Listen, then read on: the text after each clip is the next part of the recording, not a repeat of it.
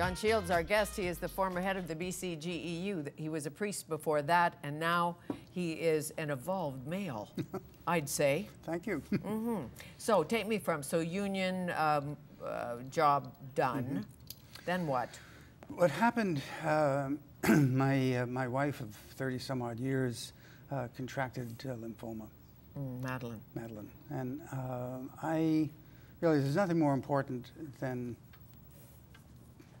being true to, to my calling to her to take care of her. So I, I left the, I stepped out of the presidency, went home, and, and started to become a caregiver. And in, in the process of accompanying her to the end of her life, uh, the, um, the acuteness of the void that I had been experiencing, mm. the, the, hollowness in my mm -hmm. spirit, uh, became more achingly present. Sure. And some hollowness in your marriage, and you candidly write about that in yeah. here, that you had a, a wonderful relationship, but, but, but not necessarily a sexual relationship yeah, in yeah, your marriage. Yeah, um, it was, it was, it started with friendship. It, uh, it was a, a, a tight bond, mm -hmm. uh, a loving bond, but not a physical right. fulfillment and process. And, and make choices about that too, and right. um, decided to stay in the in, in, the relationship and to to give it as much as of, of myself as I as I call mm-hmm. for. But in love that. with another woman yes, and yeah, yeah, shared yeah, that, and uh, whose journey hasn't included some of that. Mm-hmm. From the young mm-hmm. and the restless on, but inner impulses and things we do, mm-hmm. and yeah, you know, yeah, yeah. we're not always on the faithful path. I, I had uh, I had real misgivings. I went to visit Madeline's brother and sister-in-law mm. uh, just last weekend, and uh, asked them. They had wanted to read the book. and I said, you know, how, how did it seem to you? And they said, in this family, that's a kind of mild story. Really? that's no, relieving. Nobody was surprised by that. Well, my family too. There's uh, you know many characters, and in most families, yeah, like yeah. we could put the doily over it, but it's so not so. Uh-huh, uh-huh. So uh, today, where are you today about where we come from, who we are, mm. who's up there, who's not up there? Well, I saw a picture uh, from NASA, the American Space Agency. Mm which was an image of the birth of the universe. And when I saw that, it, you know, all kinds of lights went on. It, it hasn't always been static. It hasn't always been as we, as we know it. that what this image showed was that the universe was, was, came into existence and has evolved. And, and so I got fascinated with the science and absolutely read everything I could understand. Mm -hmm. I'm not a scientist, but I, you know, more mm -hmm. of a mm-hmm. philosopher, a theologian. And what I discovered was the universe is a single event. It's an energy unfolding. It's an evolving process that it comes, as, as some say, it, it starts, in, the universe starts in consciousness, becomes an energy outflow, and, and materiality comes, it gets evolved from that. and so, it, and if that's so, it shattered all my my past understanding of uh, our material world. Mm -hmm. It's not just stuff. It's not just always. And around. do some of your friends, uh, perhaps your ex-friends, think you've lost your mind? Uh, they get curious. I mean, I, th I think you know, there's not enough information mm -hmm. about the new science or the new story right. yet. Uh, yes. But when when I when I get into it with them, they get really curious about where did all this come from? How did, how did you get to understand sure. that? Did and, one incident shake you to your core? Was there someone you read? Uh, one day you had an aha and you thought, you know what, this makes sense to me. There, uh -huh. there were masters, they had great ideas, yeah, yeah. they shared their great ideas, but we are really uh, made from stars. We're stardust. Absolutely. Kids. I mean, that, that's that's that's not just a metaphor. That's that's the that's the mm. actual reality of, of where where life comes from as an exploding star. Yeah, there was a guy uh, by the name of Brian Swimme, mm. uh, who's a cosmologist based in California. And he came to Victoria in the early 90s uh, to give a talk. Uh, and when I heard what he was saying, the scientists now know about the universe, it, it, it, it just grabbed me. Mm -hmm. I was so curious.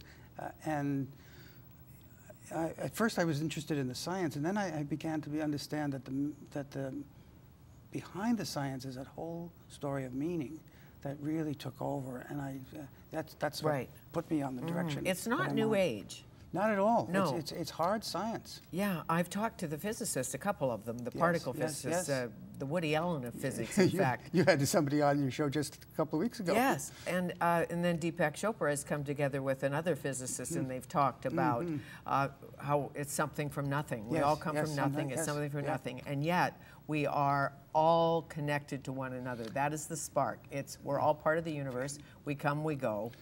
We're not going to get out of that yeah, death yeah, thing. exactly. I mean, the universe is one, and, and everything is Mm-hmm. interconnected. There's no standalone, there's no isolated pieces, there's nothing, and we're not here accidentally. We're part of an evolving process, and, and in the universe is Right. having us in this moment because there's only something that Mm-hmm. we can contribute to its unfolding. Well, you, uh, I know, had a tour with one Jack Munro, Oh, I did. who is a, uh, a big uh, labor logging yeah, yeah, guy. Yeah, Jack, Jack and I are old buds. Mm, I'm an old and, buddy, and, too. And adversaries. We've kind of Sure, we're on and he took you into the woods Yes, he did. to say, Yeah, you know, we own these trees and we're going to cut them down, and that's how it is, and forget about that owl. and, and he evolved too. Yeah, he did, He got to the point where some trees are sacred, and you don't haul a Yeah. big Douglas fir across a trout stream. But they were bo- they were in this old um, old mythology. There's the story that nothing has value until humans cut it down. the trees are, Mm-hmm. Cut are only down, valuable when we make it into boards. Then, it- it. then the tree has value. Otherwise, just standing in the woods, no value at all. Mm. I thought that doesn't make sense. You know, if if if, if, Well, if there's especially a now. if there's a sacredness of the universe, it's in, Mm. in the propagation of life. We find- struggle, the universe, is, uh, the Earth is struggling to stay alive. And I think it's giving, this, this is probably a little bit way out, but I believe all of this information is coming from the universe to help us save the Earth. I do too, believe it or not, because the Aboriginals and the elders, and I know you've dealt with uh, many chiefs, and, Mm-hmm. and they will say, from the smallest grain of sand to the great whale, uh, we are all part of We're this. So get it. I even save ants. Mm-hmm. I know. I try to. In the little Kleenex, put them out the door, yeah, you know, rather yeah. Mm-hmm. than squash them. My grandson squashes. Yeah, yeah, yeah. So- Mm-hmm. yeah, no, it's, um, it's, a rever- it's a uh, restoration of a sense of the sacred. Right. So do you still pray? Do you, when you have a Mm-hmm. tag day, where do you go? Well, my, my, uh, my father-in-law has just had a stroke, and, I, and so I was just facing this question, what does prayer mean? Uh, and so I, the, the other day, uh, I was walking along, and I said, I, I, I need, I need to s- say something for him. And I, I, I don't believe that there's an interventionist deity who's going to make it better or worse. But I do believe that as, as one with the universe, I am a creative force Okay, collective power of thought. thought and I am that I am. and send him the healing energy capacity that I can co-create in this moment Mm. to make his way a little easier. You dedicated this book to Robin and Nikki. hmm Robin, Robin is, Is? is, is my present wife. Uh, we remarried about six. Uh, we remarried six years ago, uh, and Nikki is her 26-year-old daughter, Mm. a student at, uh, at university in women's studies and environmental studies, and getting straight A's, and the love of my life. I got the experience of being a father late in my life, but to her delight, my delight in her, uh, she has embraced me as her dad. so what would you like us to take away? The nugget you'd like us to take away uh, uh, from your story, which is a passionate story, but the pillar of your spirituality is essentially what? We are all one. Uh, we are one with the one, Inner and outer. inner and outer, and that everything that we do has meaning, has significance, is important. There's no throwaway lines, there's no idle gestures. We are in the process of co creating the universe. And you continue to do that because I know you work tirelessly for women's rights, for civil Mhm, rights, did, for yes, human yeah, yeah. rights, all of that. Yes. How nice to meet you. I bet your old delight. union buddies have no idea.